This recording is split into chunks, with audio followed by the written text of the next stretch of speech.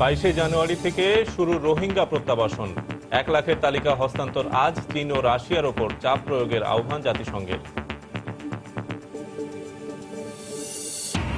রোহিঙ্গা ক্যাম্পে প্রতিদিন জ্বালানি হিসেবে ব্যবহার হচ্ছে সাড়ে সাতশো মেট্রিক টন কাঠ। উজাড় হচ্ছে বন পরিবেশ বিপর্যয়ের আশঙ্কা।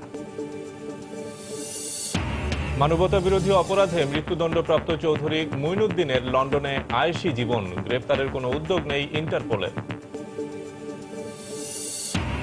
ভরাজাত দূষণে মৃতপ্রায় রাজধানীর অধিকাংশ খাল নেই দখলমুক্ত করার উদ্যোগ। দায়িত্বপ্রাপ্তদের উদাসীনতায় কারণ বলছেন নগর পরিকল্পনাবিদরা।